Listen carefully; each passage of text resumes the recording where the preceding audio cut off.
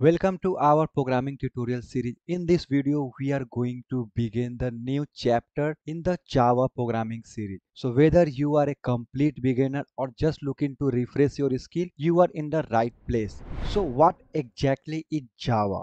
I can say here Java is a powerful high level programming language that is used to develop a wide range of applications from simple desktop program to complex enterprise system you can develop any kind of application. One of the key feature of the java is its platform independence which means the java program can run on any device with the help of java virtual machine. So if you have a java code that means you can run that java code into mac device or window device or unix device. So what is the history of java? So the main role played by james gosling mike sheridan and patrick naughton so the beginning of java language is very interesting. So at 1991 they have started the project. So their main intention was to let's make a interactive television but they quickly developed something else.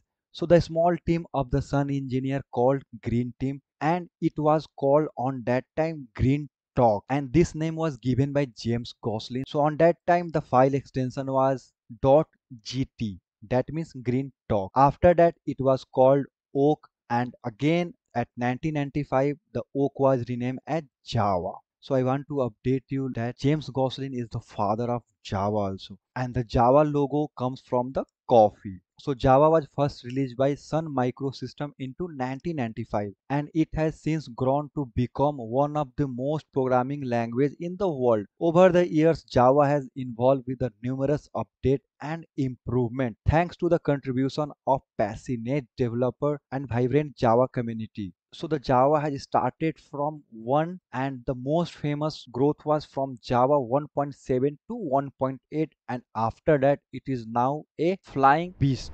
So you might be wondering why should you learn java? So there are 300 programming languages today but only a few have wide range of application and huge demand and one of them is Java programming language. So for Fraser, Java is in high demand in the job market with countless opportunity for a skilled Java developer. And the plus point is also here Java has versatility and robust make it too suitable for wide range of application including web development, mobile app development and you can also use in Android and much more things. So that's why you have to learn Java so you can achieve your dream goal